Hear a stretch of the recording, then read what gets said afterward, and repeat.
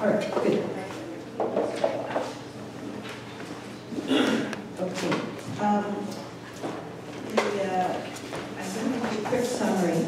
Uh, for- I- So for those that are here today, that um, it's just remarkable that the new residents and interested communities have come out. Um, As Melissa mentioned, the watershed planning process was over three years.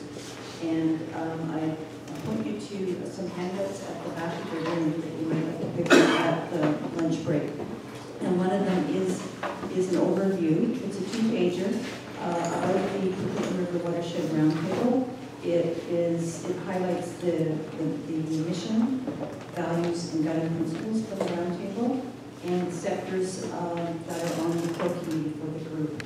It's a, a very, um, it's a helpful background on the, the organization, as well as um, uh, in um, 2016, after the uh, three-year process of watershed plan, we produced a handout, 2016 going forward, and this is a summary of the plan. There, okay. Um, The, the watershed plan was uh, developed using an alternative planning process called the Open Standards for the Practice of Conservation. And it's, uh, it's one of those plan, do, uh, check, and update, and uh, we are at the uh, implementation stage right now. The conceptualization and the planning of actions in the plan were the part of the the three-year process.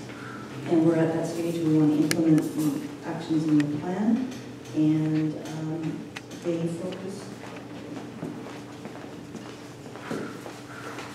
the, what again?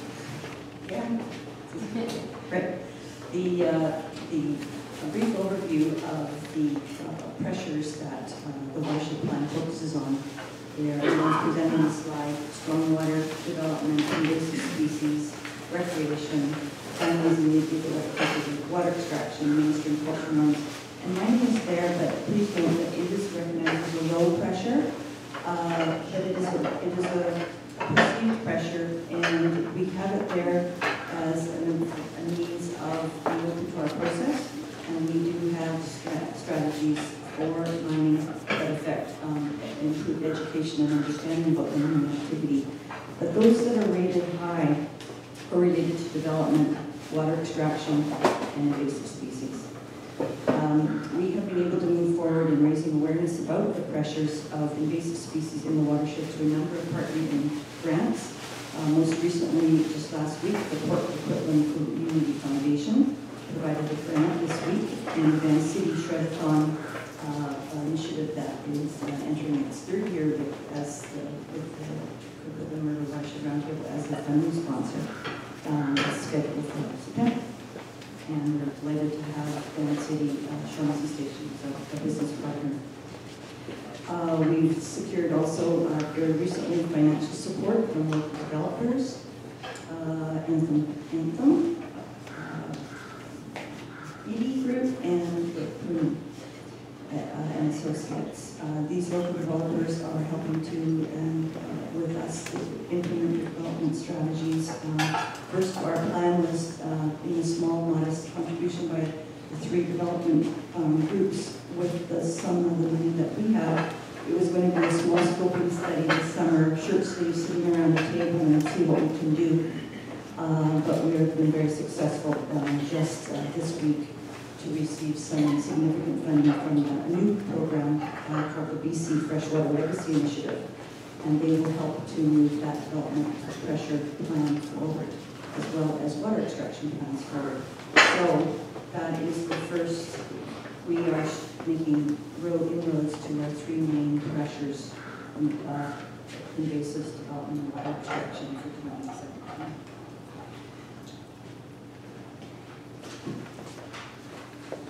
Okay. Just pointing out, we started uh, last year, thanks to Watershed Watch Salmon Society, who, uh, uh, and Craig Orr, who partnered with the Environmental Law Center at UVic um, in June 2016. They produced a report, um, Lower Coquitlam River Watershed Plan, Tools for Healthy Watersheds and Healthy, Healthy Humans. and it highlights the success of um, development um, actions and strategies for our watershed plan and offers legal tools for implementing. And that will be our, our, our launching pad for the development action plan.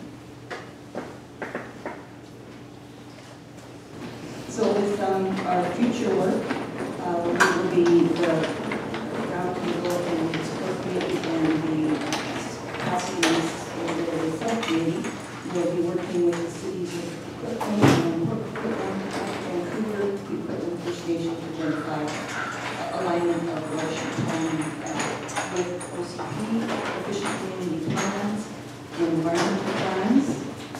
Uh, engage the greater community through our ongoing outreach and education opportunities uh, to promote stewardship, watershed health for fish, and health actions to address invasive species impacting natural and riparian areas. And that um, engagement, our next program, we'll hear from it later, will be in um, August um, with POCO uh, 150 uh, campaign event or uh, initiative. We will then work with the development community, as I mentioned, to advance the information action plans as identified in the watershed plan. And we'll continue to initiate research and actions that will address the pressure of water extraction impacts the flows for fish in the River. And that is an initiative that we will uh, partner with um, Metro Vancouver and BC Hydro. Uh, They're essential players in that uh, moving forward. That's all on grand pleasure. Uh, This is the first time I've met Deborah face to face. We've spent lots of time on the phone over the years. And uh, very pleased to introduce Deborah Carlson. Uh, She is a staff lawyer for the Green Communities Program at the West Coast Environmental Law Office. Her current work focuses on collaborative governance and enabling ecosystem-based management in in urban context. Please welcome Deborah.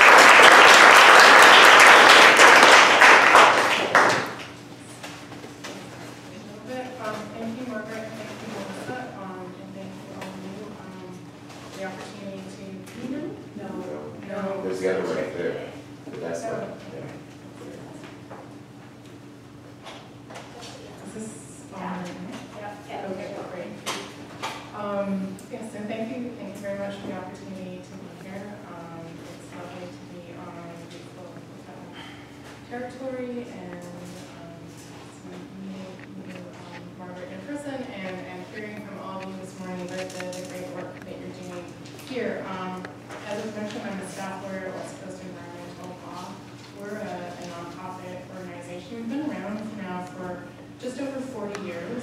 Um, but as a nonprofit, I think we've really kind of sympathized with um, the challenges we're facing um, regarding funding and finding a, a stable way to exist over the long term. Um, just for context, we're now about 20 people within my organization, but when I joined in 2010, we were down to six.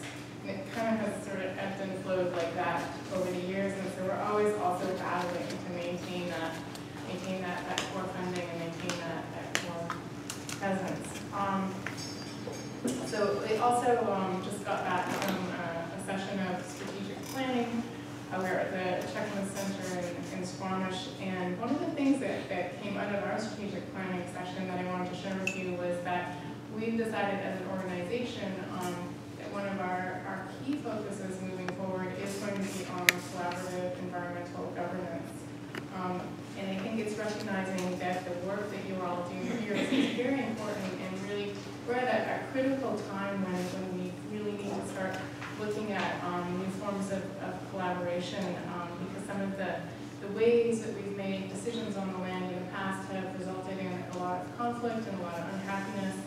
And in this, this time of reconciliation, it's, it's particularly important to, to do this, this work. So I think we're all looking forward in how to build stronger relationships with each other, how to heal some of the relationships that haven't been so great in the past, both amongst people, among settlers, among First Nations, and also our relationships nature. So all of this, all um, context to say that, you know, I'm really a fan of, of what you're, you're doing here, It's- and a, a lot of people have been watching and, and learning from you, so, um, keep it up.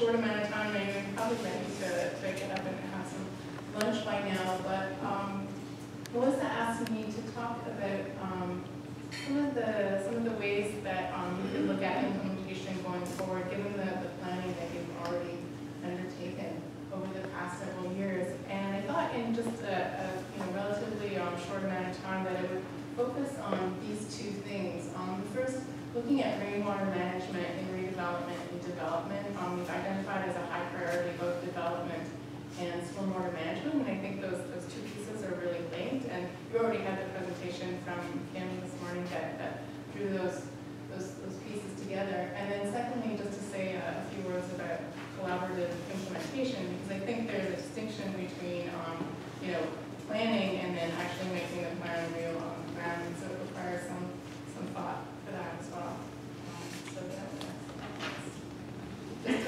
Um, that you're operating, I would say, from a position of strength, both that you- you've been here for several years and also around you, um, the the Metro Vancouver, that it- the acronym stands for the Integrated Liquid Waste uh, Resource Management Plan. Um, So that is essentially the the drainage function of Metro Vancouver, um, that they, um, uh, I think it's 2011 when it was um, put through by, by the province, Kim was involved with this, but the, the local um, governments um, got together and agreed that they would essentially implement watershed planning. And I think this is almost like a stealth environmental success in the region. Um, I don't know if it's really been um, recognized for, for how powerful it is, but even before the Water Sustainability Act in Metro Vancouver, because of this, um, because of this plan, um, each of the municipalities that's part of Metro Vancouver has to essentially undertake a form of watershed planning. So you have that, you have that backing, you have that momentum, and you have examples um, from Metro um, underway to, to draw on as well. And then secondly, of course, you yourselves, um, the Coquitlam River Watershed Planning Roundtable, um, is a great opportunity for collaboration and, and implementation as well. So, next slide, please.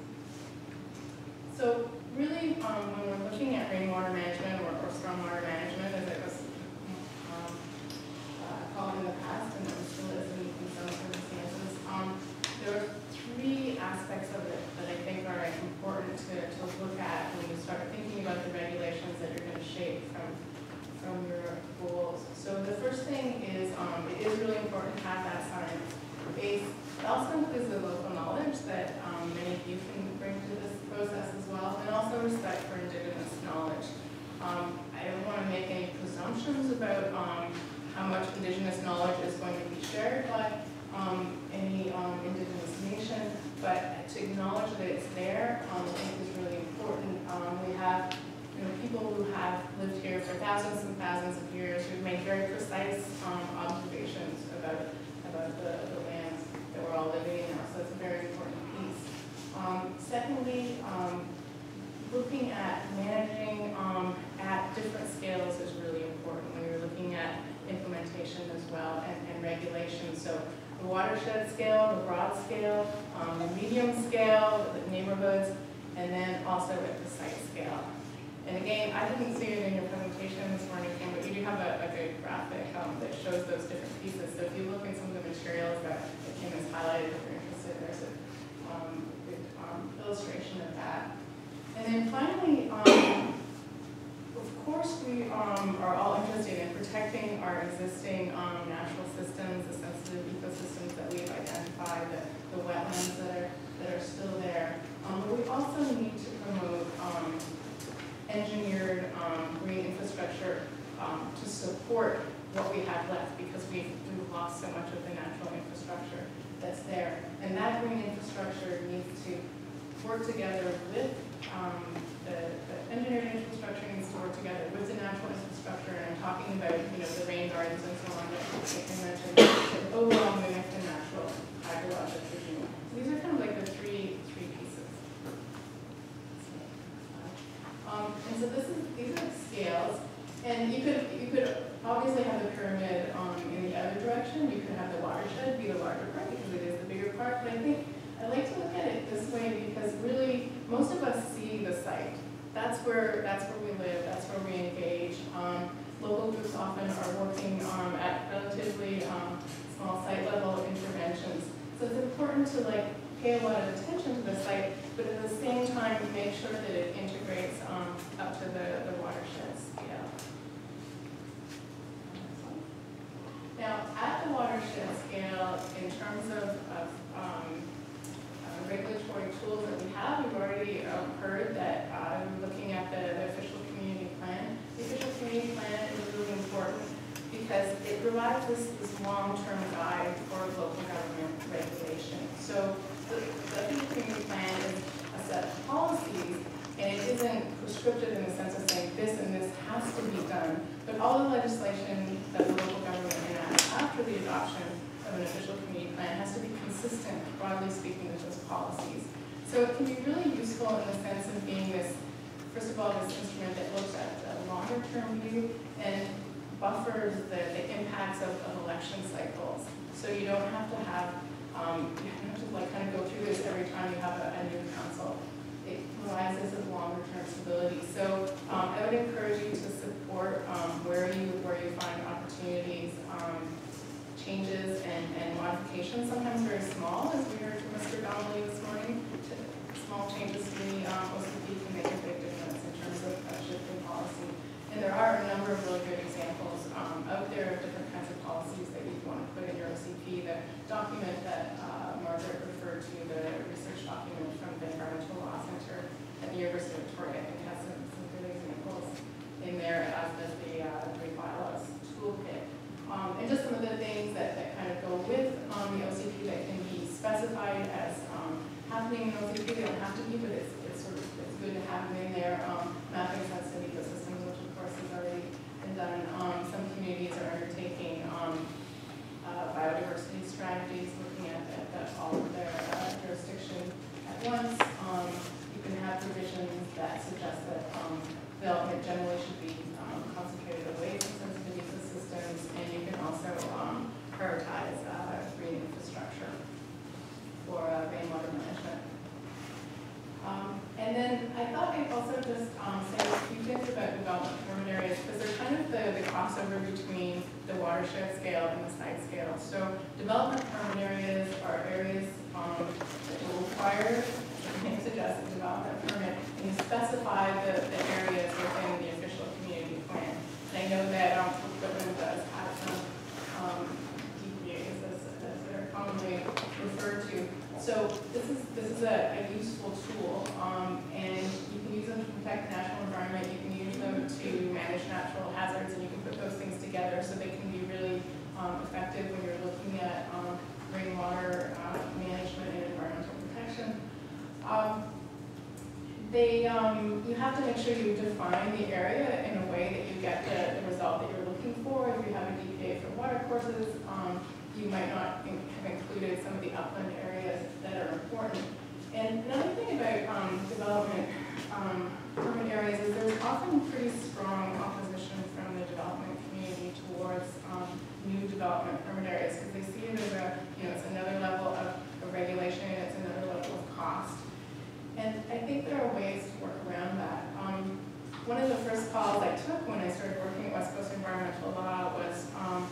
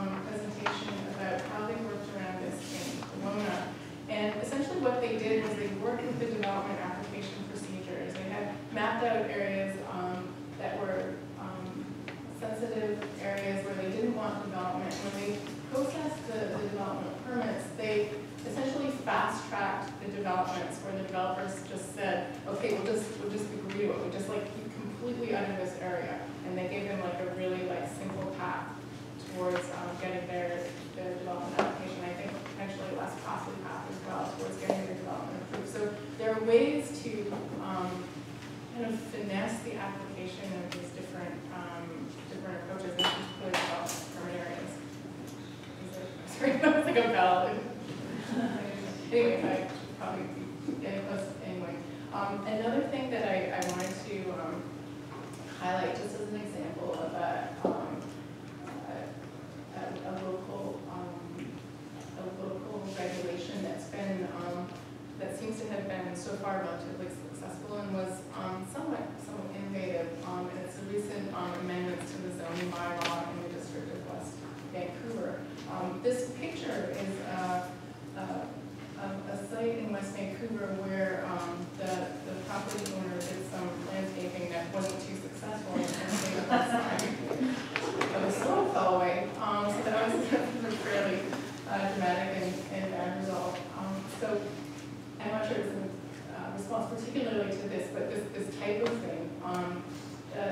district, um, Dr. Zia, they drafted this amendment to their um, zoning bylaw, and they incorporated uh, local governments have powers um, in addition to zoning um, to um, manage uh, landscaping and also runoff.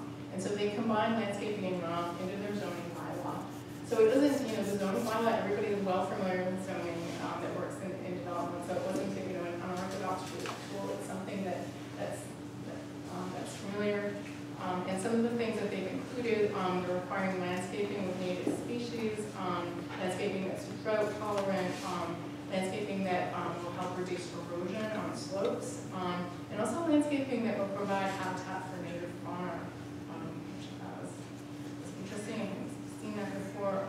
they also, then, in terms of runoff related to, to rainwater management, they put within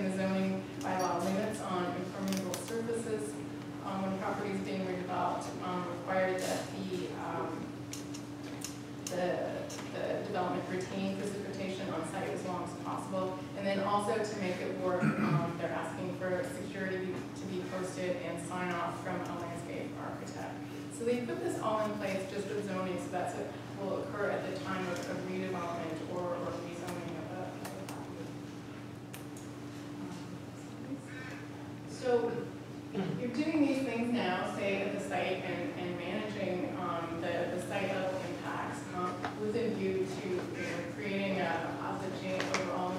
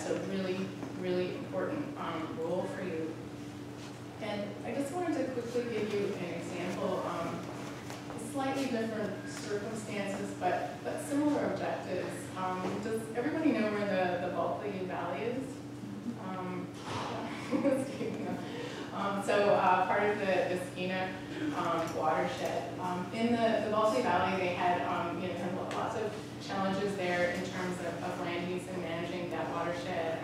many levels of government, um, uh, number of First Nations, different uh, resource uh, extraction pressures. And what they ended up um, doing um, to support their, the, protection of the watershed was developing uh, a monitoring trust because they felt that the monitoring was such an important piece of, of keeping the watershed healthy, um, that they, but it was hard to, no, no particular agency had that, had that responsibility. Um, so the idea was to have this trust, um, which is a, itself a, um, what's it, it's a legal, a legal, actual legal trust, but kind of like, so it's almost like having a nonprofit organization that, that simply has responsibility for monitoring, and then it, the people that are responsible for administering the trust are representative of some of the, the different, um, uh, levels of government and other, other groups that are involved. So this has actually been relatively successful, um, over the years, and I'm not saying maybe that you need to, you know, right away, um, go out and think about putting together a monitoring trust for your watershed, but just to think about how you can make sure that that role, um, is, um, is played here, um, in, in, in your, um, watershed, I think would be, would be really helpful. And then, uh, just to, uh, to wrap things up, um, quickly, I, I wanted to, um, uh, hopefully give you a, a few, uh, notes of inspiration some things that have been happening elsewhere. So, um, you may have heard, because it was pretty well reported, um, I thought, uh, in the news that, uh, in New Zealand, uh, a river, the Te Awa Tupua, was recently granted, um, or recognized to have legal personhood in New Zealand. So the river is, is, this river is now, uh, a, a legal person, and this is, uh, this is, uh, um, entirely a novelty in, um, European type law, there are a few other examples, but this has been one of the, um, um, I guess one that's received a significant amount of- of publicity. And there's a whole history, of course, of how, how that, how that came to be. But, um, I think what's really interesting about it is that now the health and well-being of people living by the river, um, were recognized as being intrinsically connected to the health of the river itself. And of course, this did not, this concept did not really flow out of um, Western or, or settler laws that came from the Maori um, people, um, in this case, the iwi that are living along that river. And as a result now, this river um, has personhood, and two people have been appointed to speak on behalf of the river, one from the iwi and one from the crown. And I think it's, it's very interesting because it not only recognizes the importance of the river, um, but it also recognizes the wholeness of the river in this, this really, this really concrete way. And next slide. And then this is kind of a funny, a funny picture, but um, I came across this um, quite recently actually, and maybe some of you have heard of this, this approach called strategic doing. It comes out of Purdue uh, University in the United States, and it was really developed um, as a recognition that regional economic development needs collaboration in contemporary times, and they were kind of puzzling over how to get everybody together, and so they did quite a bit of work on collaborative process and collaborative in- implementation. And I think it kind of reflects, in a sense, the, type of work that you're, that you're doing here. So you have these nodes, these yellow nodes, the idea is that you get together and you collaborate, and you get your list of things you're going to do. Here it says 30 days, but maybe it's longer than 30 days. And then you go off and you do them, but you come back together. You come back together relatively frequently. And I heard um, over here at this table that there was a suggestion like, you know, like six months. We need to think about six months, like what's going to happen in six months. I think that's that's really good to understand that, that the collaboration really needs to be needs to be active. And again, um, it's wonderful. Um, I'm hoping that you also will have this long-term support because I know um, it takes a lot of effort on um, working part Margaret and Melissa to just to keep the collaboration going, just to be the glue that's holding everything together. So um, just keep that in mind,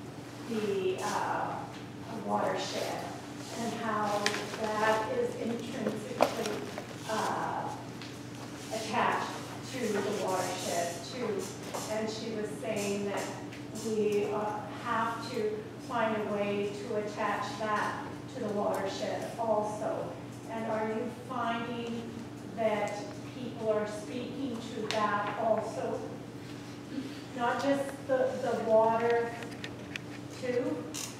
Yes, I mean, absolutely, uh, and it could be a whole, um, a whole presentation, I suppose, about, about fish species, but absolutely, uh, it's key. Um, I Are they think, placing value on that? yes, I think, um, and I think it's, it's a way into the conversation, um, for example, um, talking to people who are interested in fish, fish and wildlife people, um, for First Nations, also the fish, um, are very core, um, to identity and culture. So yes, absolutely. Um, I didn't speak about it this morning just because I was kind of zoning in on some of the things that you had um, in your plan. Um, but it's very important. And I think we also are in a little bit of a holding pattern because we're waiting to see the new um, Fisheries Act uh, changes that are supposed to be tabled in the fall. And hopefully we will go back to having stronger protection for fish habitat. The loss of that protection in the, the most recent iteration of the Fisheries Act, uh, I think was made life um, even more difficult for local governments because they were less able to rely on support from DFO um, in terms of um, stream protection. But that has been extremely valuable over the years, having DFO as, as the backer um, on that, and also in facing off difficult conversations with developers. Think. So yes, absolutely, the, the fish, fish piece is very, very important. Uh, Can you speak a little bit more about the monitoring trusts that you gave an example for? So who pays into it? How much money are we talking about and who administer it? And is it targeted for a specific project that's only for monitoring? Um, It is, I don't know, maybe, Do you know more about that, um? Not much, just that it exists, and I was intrigued by it as well when I heard about it. Uh, But uh, what I really liked about it was the really clear focus around monitoring and data and research and science. And I think that, to do that outside of the context of planning and conflict and, and decision-making, I think there was an elegance to that. And then you can still inform the decision-making when you have the data. But it was just interesting that that was separate, distinct, standalone package of work.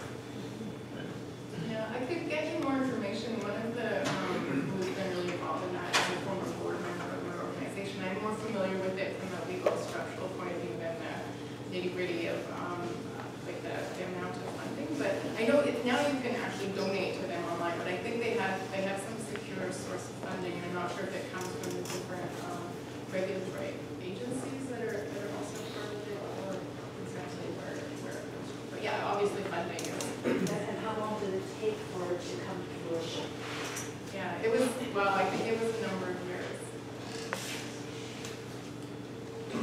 Yeah, thanks, thanks for that. I'm, I'm glad to hear you've been doing some strategic planning it makes me shudder a little bit thinking about it. But, uh, you know, you seem to be reinventing uh, West Coast environmental law a little bit. You talked about more of the local governance as being important in your, your work. And are you, are you focusing on the links between local governance and, and well-being, human well-being? Because there's quite a bit being published on that lately. And, uh, you know, resilience uh, theory is talking about a lot of uh, how well-being is connected to sense of fate control. There's been a recent study on Puget Sound looking at how local governance is linked to well-being and things like that. So I just think those things are really important to highlight uh, for groups like this and also uh, the local governments and groups like this, you know, although some people shudder about the governance, uh, are, are really linked back into helping local governments, giving them some impetus to say that, you know, community well-being is linked to these groups having some say in the future, the future of the watershed. So I'm just trying to figure out where West Coast may be going with some of those things, or whether that's a topic that you think you need to look at. Right, um, well, I guess there's, there's, there are different ways into it. Um, the name of the program that I've been, um, working on